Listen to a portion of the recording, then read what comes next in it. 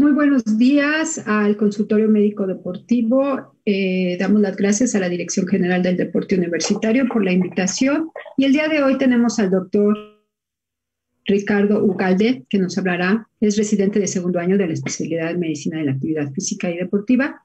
Nos hablará el día de hoy de beneficios del entrenamiento de fuerza para el adulto mayor sano. Muy buenos días, doctor. Hola, doctora, buenos días. Muchas gracias por esta este espacio para hablar aquí un poco de, sobre el deporte y también buenos días a toda la comunidad que nos escucha.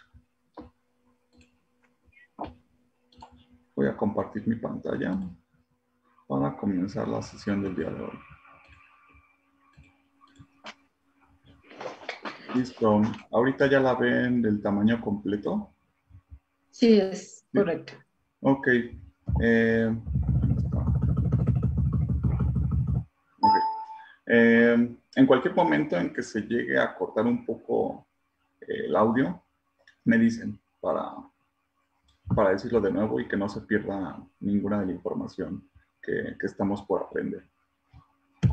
Eh, la sesión del día de hoy va encaminada a ejercicio y adulto mayor. la aclaración pertinente aquí es que es el adulto mayor sano porque estas personas que cursan con alguna patología, es decir, que tienen alguna enfermedad, ya sea diabetes o presión alta, que son la de las que más hay en nuestro medio, aquí en nuestro país, el escenario cambia completamente.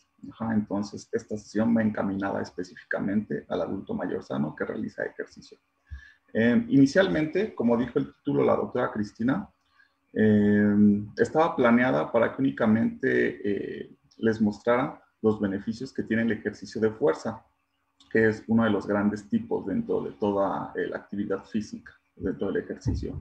Pero eh, quise modificarla de último momento al ejercicio en general para darles un panorama más amplio de lo que puede hacer por nosotros la realización regular de ejercicio. ¿Sí? Entonces vamos a comenzar.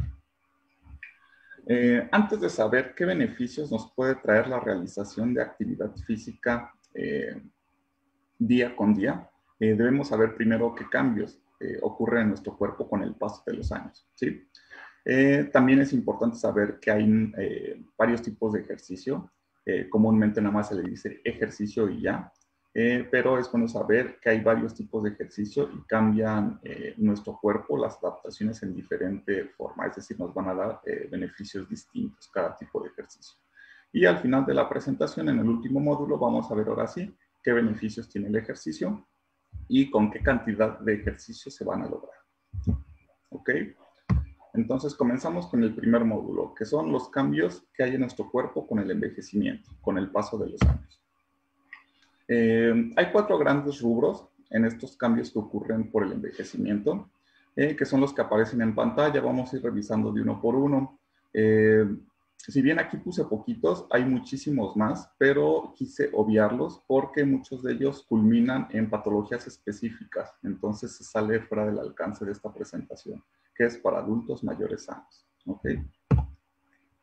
Em, bueno, antes de empezar con esto, es importantísimo saber qué beneficios nos va a traer en los adultos mayores, porque eh, en nuestro país, ah, para el año pasado, en 2019, había casi 14 millones de adultos mayores de 60 años, es decir, casi uno de cada 10 de nuestras personas que viven en nuestro país eh, es mayor de 60 años.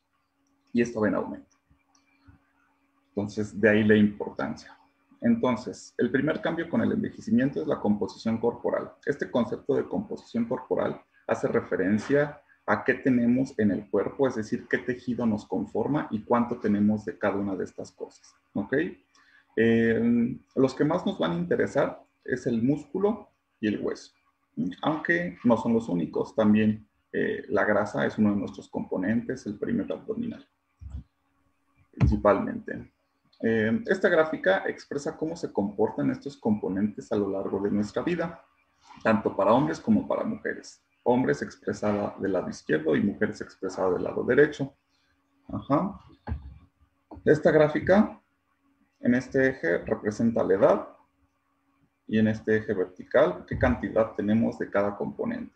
Y aunque ahí se ve el comportamiento del perímetro abdominal, del peso corporal, de la masa grasa, Lo que nos interesa es lo que está en el recuadro azul, eh, que dice LBM, que quiere decir la masa libre de grasa. Y dentro de esta masa libre de grasa, el componente que nos interesa es el músculo. ¿ah? Se ve que al inicio de la vida se mantiene relativamente constante el nivel de músculo, pero para los hombres, más o menos después de los 50 años, comienza a decrecer. Y para las mujeres tiene una tendencia muy similar, aunque lo hace un poquito después, aproximadamente una década. A partir de los 60 años es cuando empiezan a perder masa muscular. Es decir, tienen menos músculo si comparamos a alguien de 70 años, por ejemplo, con uno de 40. Entonces, dijimos, disminución de la masa muscular. Hay menos músculo una vez pasando los 60 años. Y aparte de que hay menos cantidad de músculo, la función del poquito que hay se ve afectada ¿ah? por algo que se llama tejido fibroconectivo. El tejido conectivo es algo que tenemos todas las personas, es un tejido que sirve de sostén y que está por todo el cuerpo. Sin embargo, arriba de los 60 años, esta cantidad de tejido fibroconectivo también aumenta.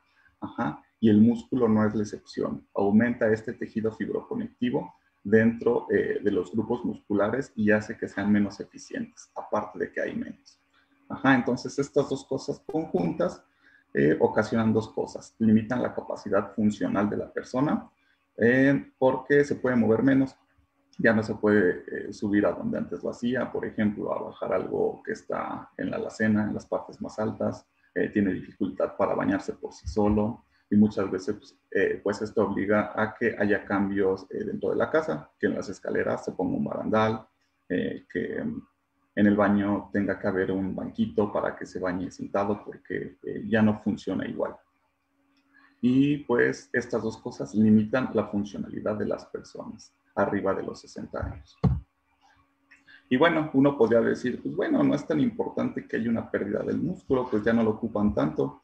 Y pues no, la realidad es que sí importa bastante perder masa muscular, como está eh, expresado aquí en esta diapositiva. Al haber menos masa muscular, disminuye el gasto metabólico basal. El gasto metabólico basal es la cantidad de energía que nosotros gastamos por el simple hecho de estar vivos. Aunque estemos sentados viendo la tele, tenemos gasto energético basal. ¿Ok?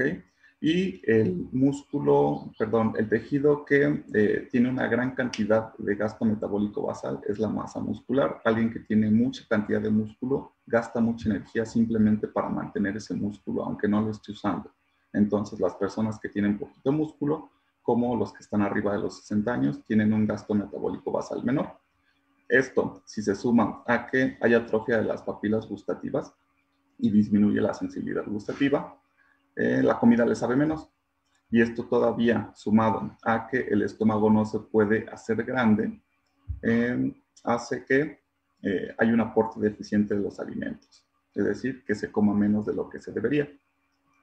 y esto se transforma en un círculo vicioso. Al comer menos, hay menos masa muscular, menos gasto metabólico basal, se come menos y así se va el círculo vicioso que afecta a las personas arriba de 60 años. Eh, el otro componente de la composición corporal que nos interesa, aparte del músculo, es el hueso. Estas imágenes muestran eh, una foto microscópica de cómo luce un hueso. Esta que está del lado izquierdo representa un hueso normal, donde eh, aquí se ven las trabéculas, se llaman trabéculas, y unos hoyitos a través de ellas. Esto es normal, es normal tener hoyitos. Pero del lado derecho está el mismo hueso, pero desmineralizado todavía están estas trabéculas, pero los agujeros están mucho más grandes y estas trabéculas son más delgadas. Eso es la desmineralización ósea. Componentes como el, calcio y el fósforo eh, se van eh, saliendo de ahí, entonces dejan al hueso más débil. Eh, aquí es importante señalar que las mujeres eh, lo hacen antes, es decir, con prematuridad, esta desmineralización, porque una vez que llega la etapa de la menopausia, donde pierden sus hormonas eh, femeninas, principalmente estrógeno, eh, se acelera este proceso de perder minerales en el hueso. ¿Y en qué se va a traducir esto? Pues en que haya menos fuerza ósea, es decir, la cantidad de fuerza que antes resistía un hueso, eh, ya no lo hace, ya con menos cantidad se puede quebrar y puede provocar una fractura eh, con mucha más facilidad. Eh, y si se llega a ver alguna caída, como veremos más adelante, que también están más predispuestos a esto, hay un, aumento, un riesgo aumentado de fracturas y por lo tanto que se hospitalice. Aparte del de, cambio en la composición corporal, otro efecto del envejecimiento es la neurodegeneración. Eh, durante nuestra vida fetal, es decir, nuestro desarrollo dentro del útero de nuestra madre, eh, hay una proliferación de neuronas, se reproducen, se reproducen, se reproducen, hasta completar su número aproximadamente eh, poco después del nacimiento y a partir de ahí disminuyen durante toda la vida. Más o menos la pérdida diaria es de 50 mil neuronas. Cada día perdemos 50 mil neuronas. Y bueno, esto podría parecer una cifra alarmante, sin embargo, eh, tenemos muchísimas, muchísimas neuronas.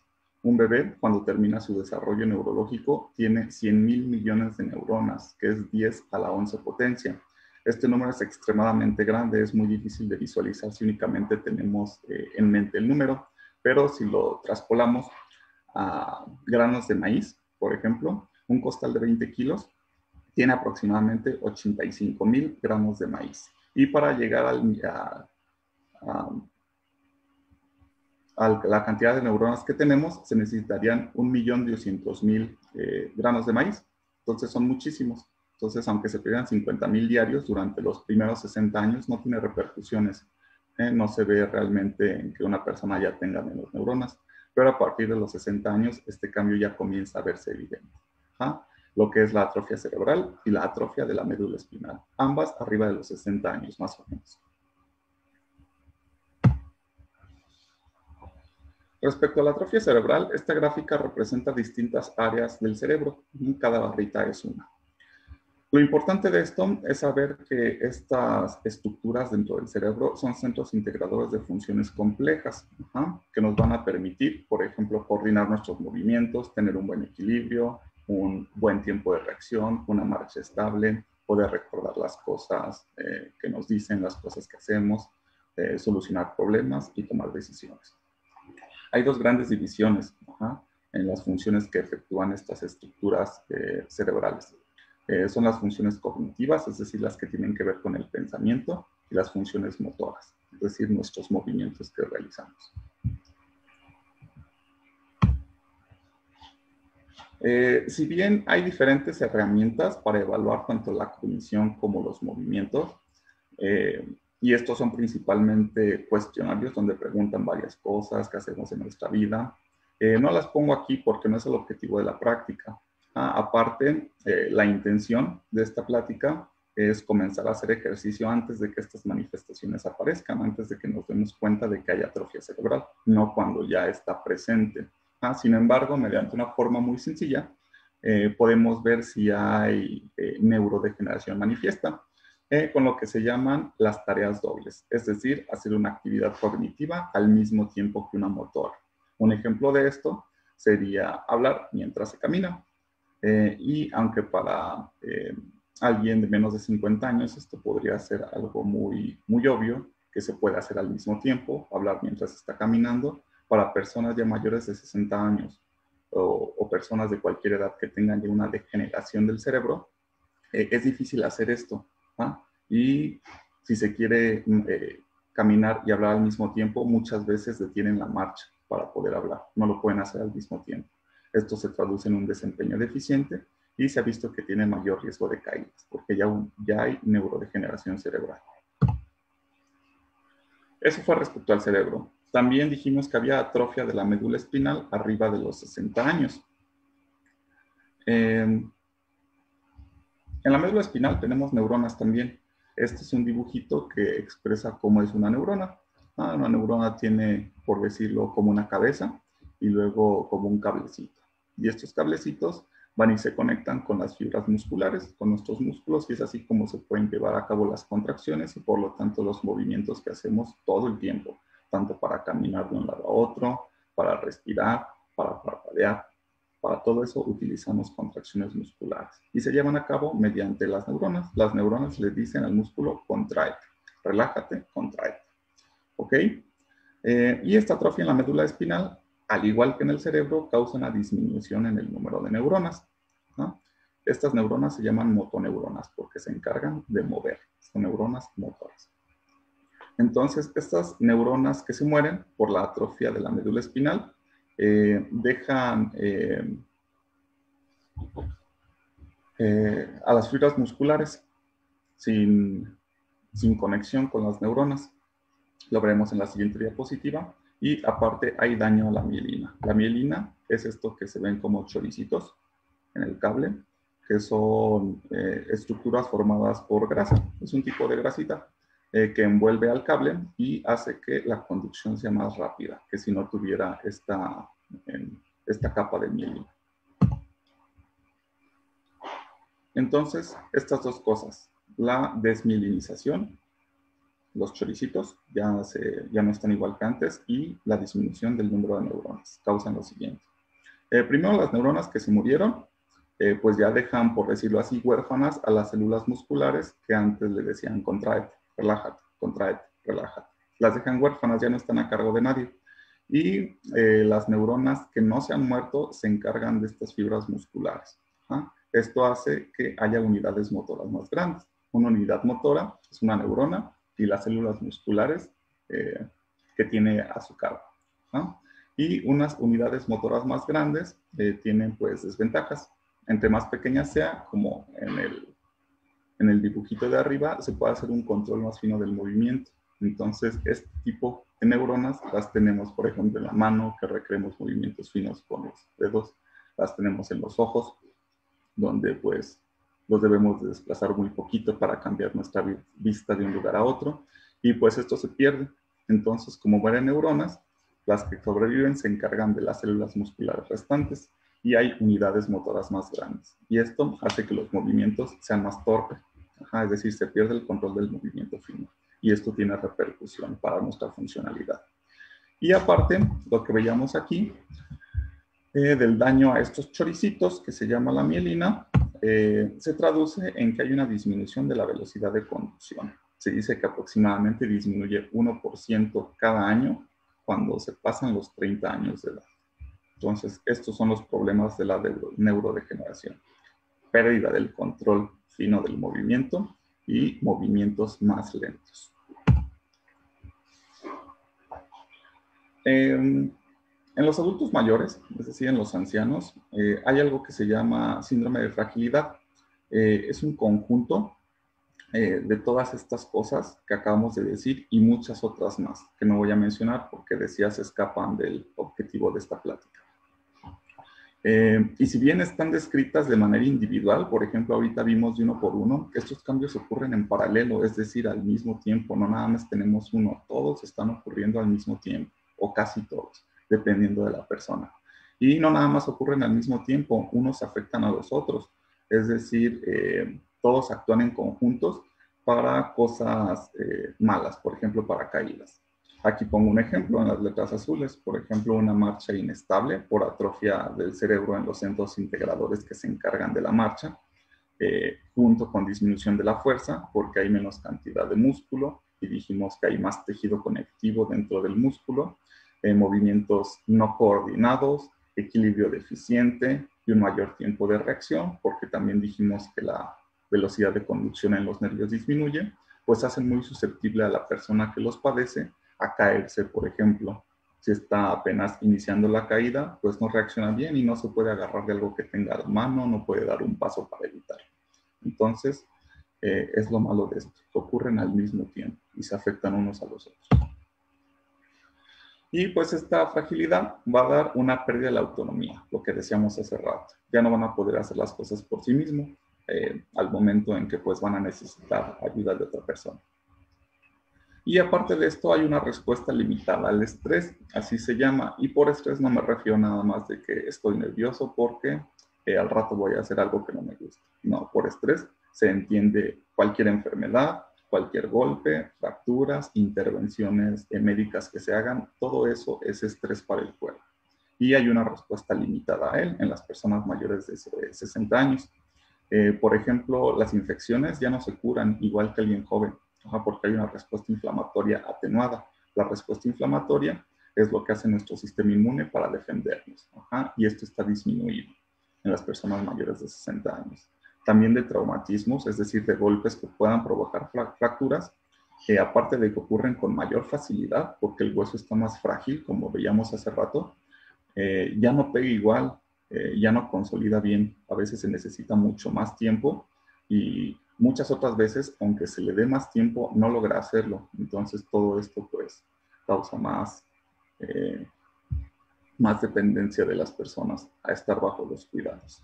Y si se realiza una eh, intervención quirúrgica, pues todo esto empeora, principalmente porque el paciente, ya que se le hace la cirugía, lo inmovilizan, es decir, le dicen, no te muevas durante tal periodo de tiempo, tantos días, y esto condiciona a que la masa muscular disminuya todavía, todavía más, porque el músculo que no se ocupa eh, disminuye su tamaño. Lo dejan en ayuno durante algún tiempo, disminuye también a que haya menos masa muscular, aparte de que pues en los hospitales la dieta no es muy apetecible que digamos, y esto hace que coma menos. Todo esto, pérdida de masa muscular, que entra al círculo vicioso que decíamos hace rato.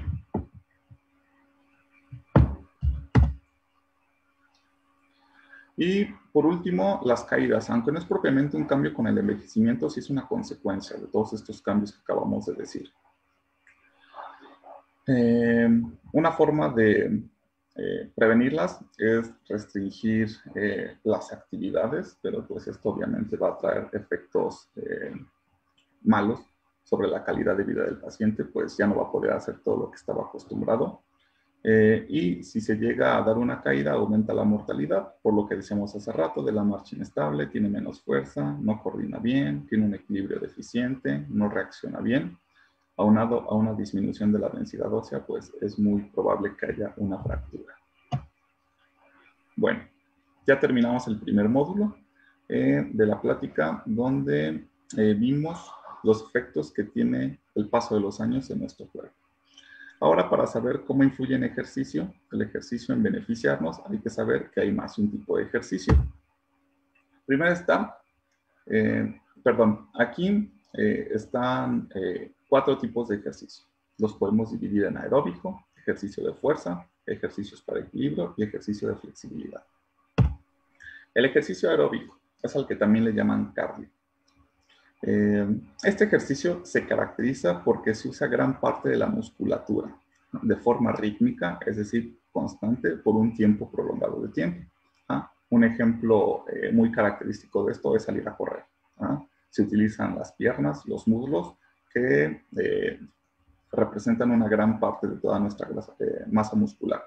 se hace de forma rítmica porque con cada paso hay uso de esta musculatura y durante un tiempo prolongado. Esto podría considerarse relativo, pero pues si ya salen a correr 20 minutos, media hora, 40 minutos, esto puede eh, considerarse tiempo prolongado.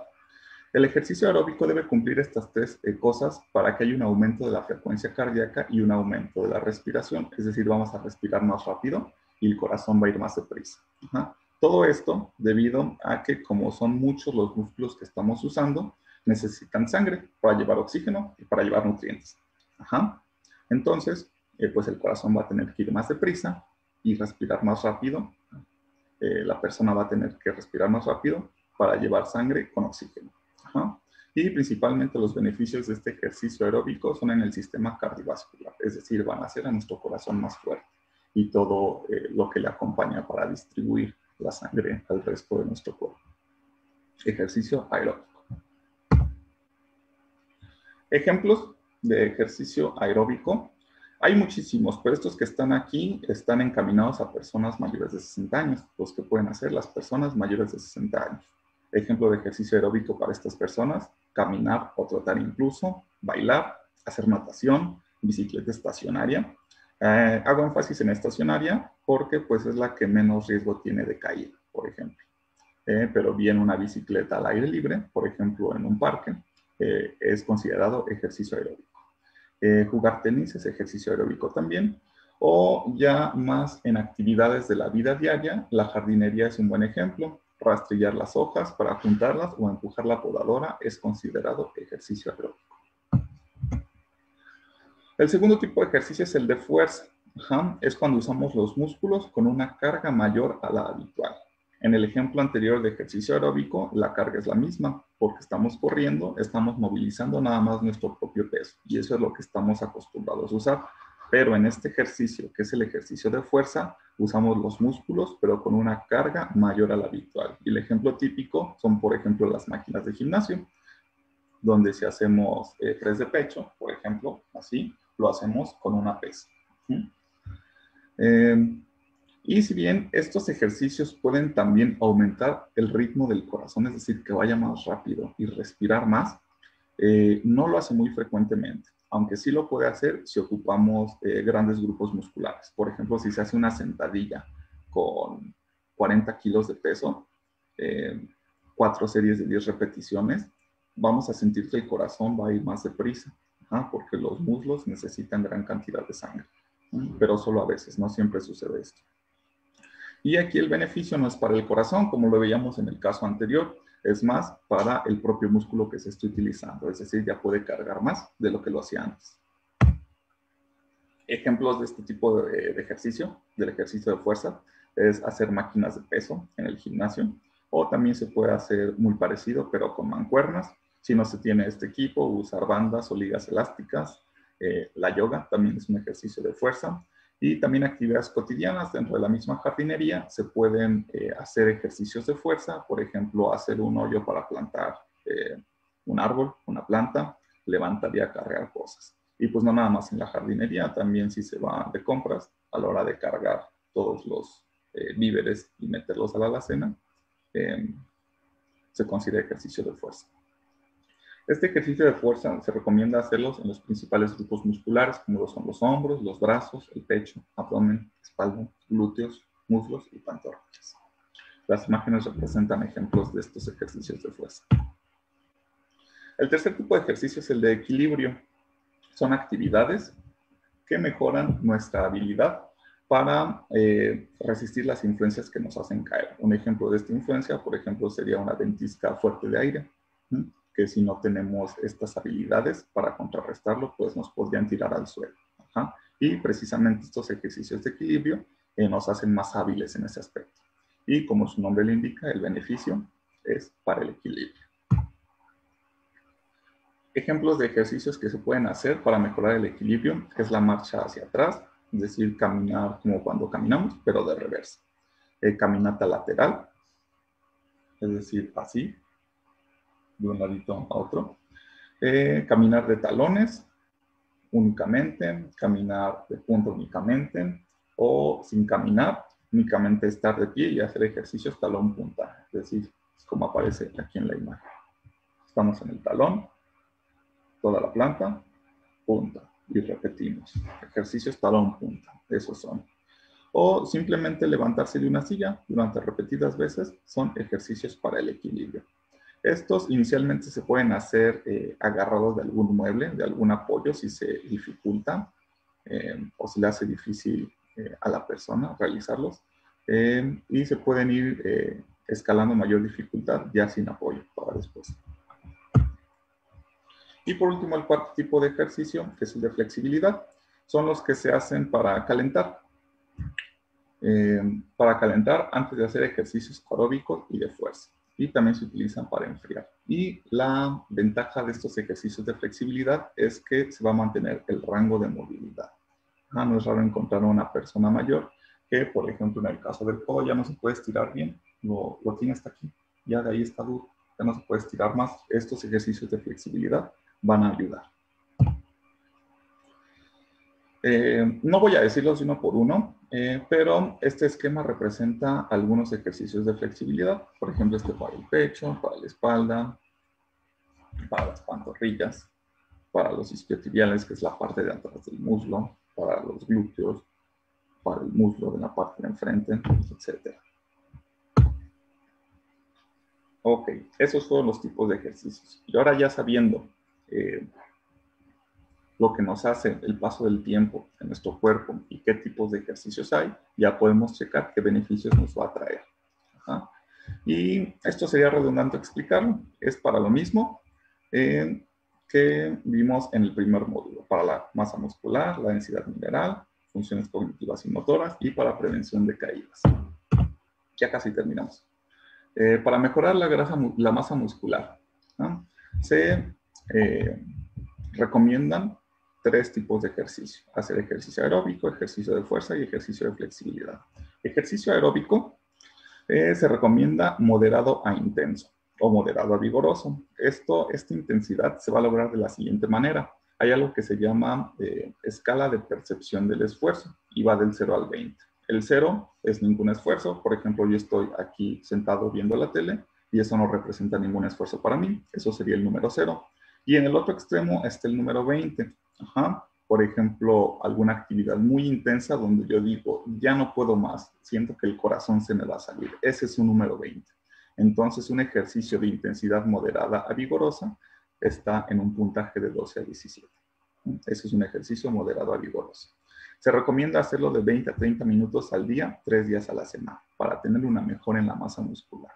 Por otra parte está el ejercicio de fuerza, en los principales grupos musculares, que hace rato estaban en un cuadrito azul, que decíamos que era hombro, pecho, brazos, glúteo, muslo, pantorrilla. Esos son los diferentes grupos musculares y se deben de hacer 8 a 10 diferentes ejercicios. Se puede hacer un ejercicio para cada grupo muscular. Y se va a hacer una serie de 10 a 15 repeticiones únicamente. Una serie para cada grupo muscular, de 10 a 15 repeticiones. Y aquí la intensidad es un poquito más difícil de establecer, va a ser diferente para cada persona. Eh, se recomienda una intensidad donde las, hacer más repeticiones que estas 10 a 15 ya represente un esfuerzo muy difícil. Yo terminando mis 10 o 15 repeticiones, si por ejemplo quiero hacer 18, ya no puedo hacerlas porque mi músculo ya está fatigado. Y si puedo seguir haciendo más repeticiones aparte de estas 10 a 15, significa que no estoy en la intensidad adecuada. le debo de cargar un poquito más de peso. Y se recomienda hacerlo de 2 a 3 días a la semana, este ejercicio de fuerza, en días no consecutivos es decir, que no puedo hacerlo lunes, martes y miércoles. me debo de esperar al menos un día de descanso entre ellos. Y también para mejorar la masa muscular están eh, los ejercicios de flexibilidad, que son, por ejemplo, los que se hacen para calentamiento, lo que decíamos. Eh, y el objetivo es llegar a un punto de tensión donde ya empieza a molestar, tener el músculo así estirado y mantenerlo unos cuantos segundos y se va a realizar siempre que sea ejercicio de fuerza y aeróbico, porque dijimos que es de calentamiento y enfriamiento. Para preservar la densidad ósea únicamente está recomendado el ejercicio de fuerza, porque el estímulo mecánico, es decir, someter el hueso a fuerzas tensionales, va a hacer que se produzca más hueso y eso va a aumentar su resistencia. El ejercicio de fuerza se va a hacer en los principales grupos musculares, al igual que para mejorar la masa muscular, eh, también puede hacerse un ejercicio para cada grupo muscular, igual una serie de 10 a 15 repeticiones y a la intensidad donde hacer más repeticiones de estas 15 ya sea complicado porque el músculo ya se cansó. Y de igual forma que en la diapositiva anterior, dos a tres días no consecutivos. Hay que esperarnos al menos un día de descanso entre los días que se realiza el ejercicio de fuerza. Para mejorar la función cognitiva, tanto para memoria, toma de decisiones. Eh, se recomiendan también tres tipos de ejercicio que ya habíamos visto y el cuarto, el de equilibrio. Aquí se recomiendan los cuatro. ¿ah? De ejercicio aeróbico, ejercicio moderado. Aquí no es intenso, aquí es ejercicio moderado nada más, 12 a 13 de la percepción del esfuerzo. La escala que va del 0 al 20, que habíamos explicado, 150 minutos a la semana. ¿ah? Y si se hace ejercicio vigoroso, es decir, del 14 al 17, de la escala del 0 al 20, se necesita menos tiempo. Esto es lógico. Si hacemos algo a mayor intensidad, lo necesitamos hacer durante menos tiempo, 75 eh, minutos. Pero si lo hacemos más leve, 150 minutos a la semana. Eh, ejercicio de fuerza, igual en los principales grupos musculares, puede ser un ejercicio para cada grupo muscular Igual es nada más una serie de 8 a 12 repeticiones a la intensidad, donde hacer más repeticiones ya sea difícil y de igual forma que en los anteriores, 2 a 3 días no consecutivos de la semana. Eh, la flexibilidad, de igual forma, llegar al punto de tensión donde ya molesta y mantener unos segundos. Y se va a realizar los días de ejercicio aeróbico y de fuerza, porque los ejercicios de flexibilidad son de calentamiento y enfriamiento. Y también se van a hacer los ejercicios de equilibrio para mejorar esta función cognitiva, de memoria, toma de decisiones, resolución de problemas. 90 minutos a la semana. Dos ejercicios que decíamos que era la marcha hacia atrás, la marcha de lado, con puros talones, eh, de puntitas, levantarse de una silla. Esos ejercicios. 90 minutos a la semana. Y aunque aquí no hay recomendación para hacerlo tantos días, tanto tiempo, pues uno mismo los puede repartir. Por ejemplo, 5 días, 20 minutos eh, diario, serían 100 minutos. Entonces, quedaría bien. Y por último, para la prevención de caídas, ejercicio de fuerzas y de equilibrio. Para eh, prevenir caídas, los grupos musculares que se recomiendan trabajar no son todos. Se recomienda abdomen, espalda, muslo y pantorrilla, que son los que van a intervenir para el equilibrio. Una serie también para cada grupo muscular de 10 a 15 repeticiones y de igual forma una intensidad donde hacer más repeticiones ya sea algo difícil. Dos a tres días no consecutivos de la semana. Y de equilibrio igual, 90 minutos a la semana. Y terminamos. Muy bien, doctor, muchas gracias. Este, muy interesante su plática. Coméntenos, ¿qué opina de la natación en la gente de la tercera edad? Eh, es altamente recomendado, como veíamos en la diapositiva donde estaban los ejercicios aeróbicos, es un buen ejemplo de ejercicio aeróbico. Em, es recomendable porque se considera un ejercicio de bajo impacto. Eh, es decir, no crea eh, traumatismos repetidos en las articulaciones, sobre todo en las rodillas, que por ejemplo trotar provocaría. Entonces, personas que ya tienen eh, algo de degeneración en las rodillas, trotar les molesta, porque con cada paso hay un golpecito y eso duele. Entonces, la natación no tiene este problema. Entonces, es altamente recomendado. Sin embargo, únicamente cubriría el ejercicio de fuerza. Para tener todos estos beneficios, pues habría que añadirle un ejercicio de fuerza, ejercicio de equilibrio y ejercicio de flexibilidad.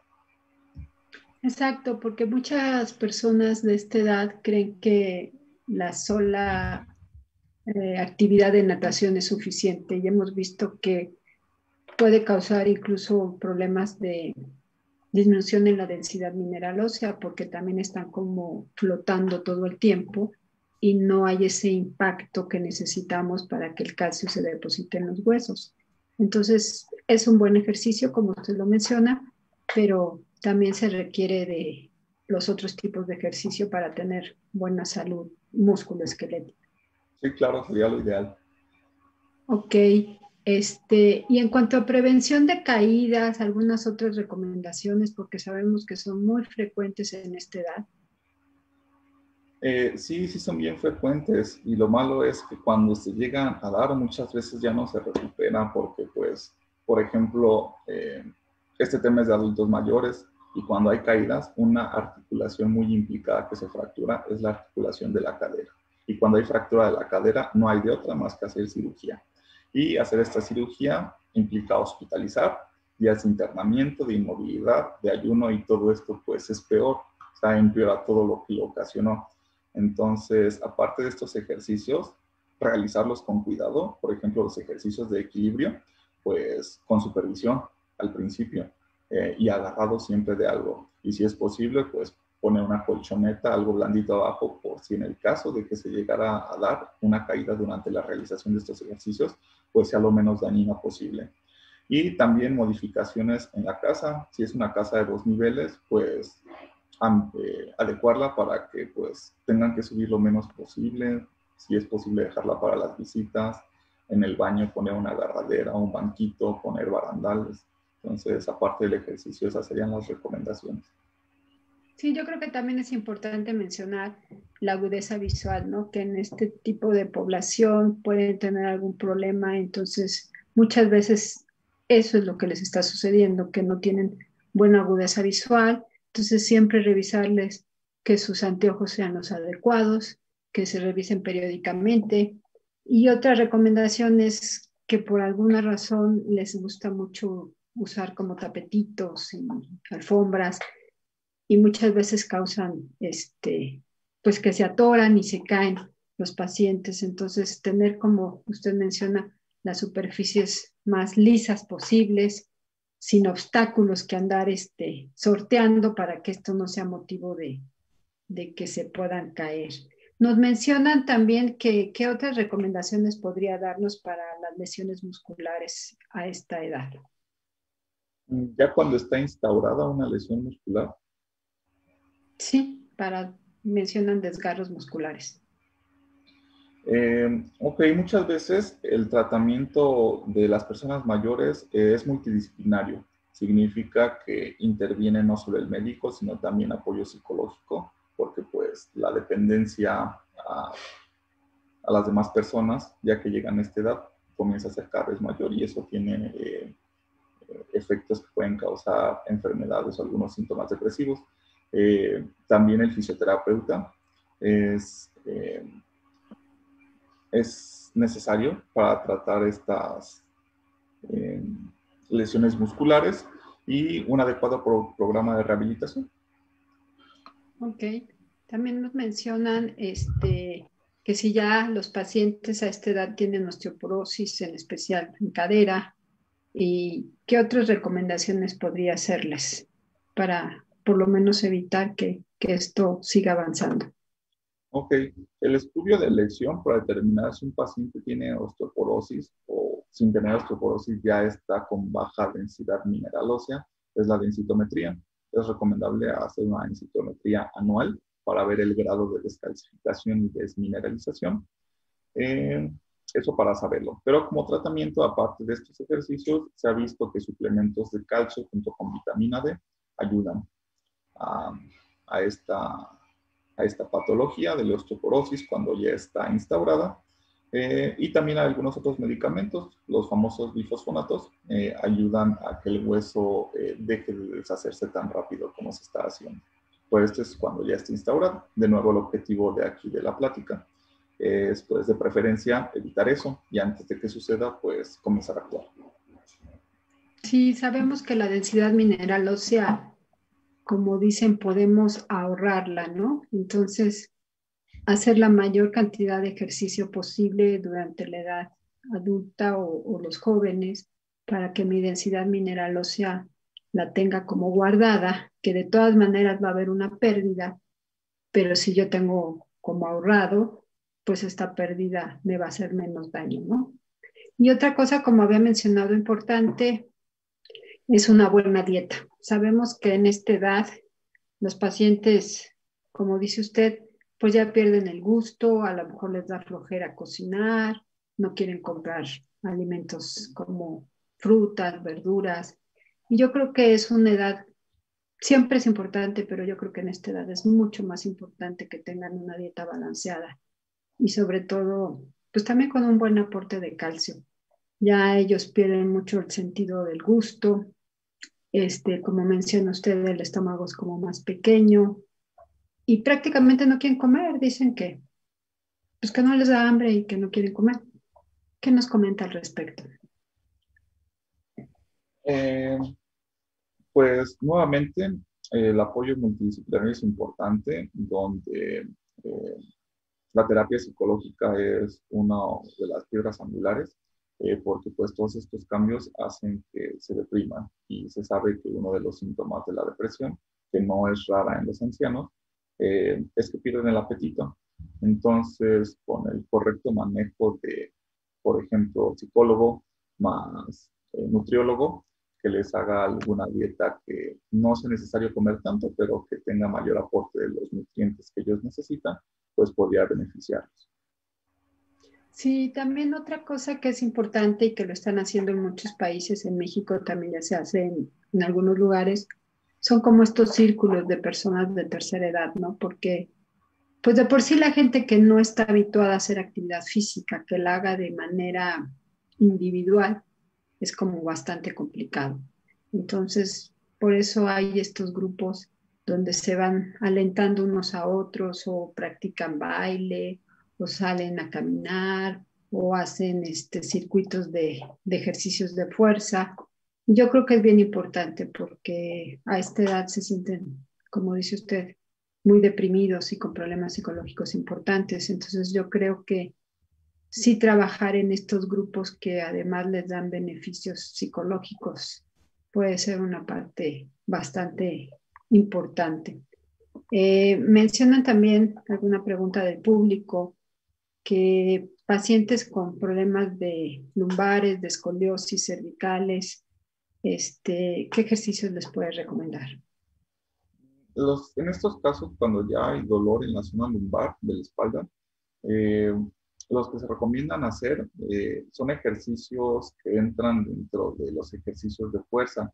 Eh, no los puse aquí en la presentación porque excedería el tiempo que teníamos previsto y aparte pues es, eso ya es patología, es decir, alguna enfermedad en específico. Se saldría fuera del adulto mayor sano, pero hay ejercicios específicos para eso, que son ejercicios de fuerza. Entonces, eh, sería bueno hacer una eh, sesión especialmente para eso. Sí, sabemos que este, pues les traería muchos beneficios, en especial, pues disminución del dolor, mejora de la movilidad. Y yo creo que eso es importante, eh, no solo a nivel de la columna lumbar, sino también incluso de los hombros, que son padecimientos y áreas que se afectan muy frecuentemente y que, como decimos en el ámbito médico, se congelan muy fácilmente, ¿no? Muchas veces nos duele el hombro o les duele el hombro a estas personas y entonces cada vez lo mueven menos y como dice usted, se hacen círculos viciosos de que terminan por no levantar los brazos, por no poderse vestir adecuadamente, pues porque no trabajan la movilidad de las articulaciones. Yo creo que por eso este trabajo de flexibilidad es tan importante. ¿Qué otras recomendaciones nos puede dar para trabajo de flexibilidad? Mm. Ay, perdón, déjame regreso a la diapositiva. Aquí, eh, pues ejercicio de flexibilidad hay muchos. Eh, estos solo son unos cuantos, pero hay, hay una gran gama. Para cada grupo muscular no nada más hay uno. Eh, tampoco quise poner muchos porque se iba a alargar el tiempo de, la plática, eh, pero pues ahorita con el internet que tenemos no es necesario aprendernos de memoria. En el buscador se le puede poner ejercicios de flexibilidad para un grupo muscular en específico y se va a desplegar toda una lista. Entonces ahí se pueden obtener, hacerlos pues todos los días. En los ejercicios de flexibilidad no hay restricción de que se tenga que dejar un día de descanso entre días de actividad. Entonces, aparte de realizarlo siempre como calentamiento y enfriamiento eh, en los días que se hace ejercicio aeróbico y de fuerza, se pueden hacer aparte solitos los días que no se realiza ningún otro tipo de ejercicio. Entonces, esto va a ayudar a aumentar todavía más el rango de movilidad que está limitado en estas personas. Ok, muchas gracias, doctor. Eh, la gente en general pensamos que si algo nos duele, necesitamos no moverla y descansarlo para que sane. ¿Qué opina de esto? Mm, que aquí es bien importante identificar el origen del dolor. Uno mismo se puede dar una idea.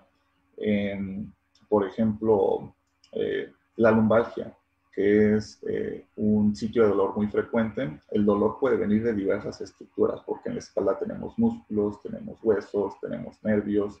Entonces, el dolor puede ser fuente de cualquiera de ellos.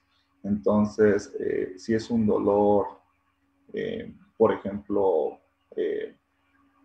por compresión de un nervio, em, como veíamos el lunes pasado en la plática, una hernia de disco, ahí pues el manejo inicial sí sería detener la actividad física porque va a provocar más dolor, pero si el dolor es muscular, es decir, el tejido muscular es el que está siendo el responsable, pues eh, lo recomendable no es dejarlo de usar.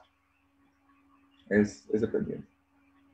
Sí, yo creo que eso es muy importante y, y muchas veces depende el dolor, ¿no? La intensidad del dolor. Hay actividades que si nos causa, por ejemplo, si hacemos abdominales el día de hoy, mañana o pasado mañana vamos a estar un poco adoloridos de esa zona, pero eso no significa que la tengamos que dejar de hacer. Existen este tipo de dolores que llamamos dolor muscular de aparición tardía, que necesito volver a hacer el ejercicio para que este dolor pueda desaparecer o el músculo se empiece a habituar a hacer este tipo de ejercicio. Mucha gente cree que si algo le duele, este, debe parar y, con el reposo va a sanar. Actualmente se ha visto que esto no siempre es cierto, que sí necesitamos tolerar cierto, cierta molestia, cierto dolor para obtener beneficios, sobre todo a la hora que estamos haciendo actividad física y sobre todo cuando no estamos habituados a hacerlo. Entonces, sí sería bueno, una consulta con un médico especialista para que nos diga cómo podemos empezar, cuál es la dosificación adecuada, qué seguridad vamos a tener al hacer este tipo de ejercicio. Pero sí, definitivamente, como lo menciona el doctor, yo creo que en todas las edades es importante hacer actividad física, pero yo creo que en la tercera edad es mucho más importante. Se dice que lo más cercano a la fuente de la eterna juventud es hacer ejercicio. Y bueno, le agradecemos al doctor Ricardo Ugalde, su presentación, muy interesante. Creo que tenemos mucho que hacer. Estamos muy cercanos a tener una población este, de adultos mayores muy importante para cuando nosotros lo seamos, que estamos seguramente cerca de serlo, eh, pues tener todos los conocimientos suficientes para tener una buena vida, eh, lo que yo siempre les digo a mis pacientes es, no me importa si voy a vivir 80, 85 o 70 años. Lo importante es tener una buena calidad de vida, ser autosuficientes, que yo creo que ese es el objetivo de todos. No importa cuántos años, pero con una buena calidad de vida. Muchísimas gracias a todo el público que nos vio y escuchó el día de hoy. Muchas gracias, doctor. Y bueno, pues aquí las invitamos el próximo lunes eh, con el tema sobre COVID y ejercicio. Eh, lo va a presentar el doctor Luis Camas, residente de segundo año de la especialidad. Y pues bueno, los invitamos a todos los que nos están escuchando a que nos ayuden a, a promover la actividad física en todas las edades, pero muy especialmente en la tercera edad. ¿Algo más que quiera comentar, doctor? No, doctora, nada más que sí estoy totalmente de acuerdo en que pues eh, no nada más para prevenir eh, la aparición de, enfermedades o de condiciones que pueden ser malas para nosotros, sino ya que está instalada una enfermedad, muchas veces hay un tipo específico para tratar eh, ese padecimiento. Y pues es barato, eh, no nos cuesta tanto, bueno, no nos cuesta económicamente, pero pues la desventaja es que hay que invertirle tiempo y esfuerzo. Pero sí es de las mejores medicinas que hay. Ok, muchísimas gracias. Nos vemos el próximo lunes. Gracias por este espacio. Hasta luego.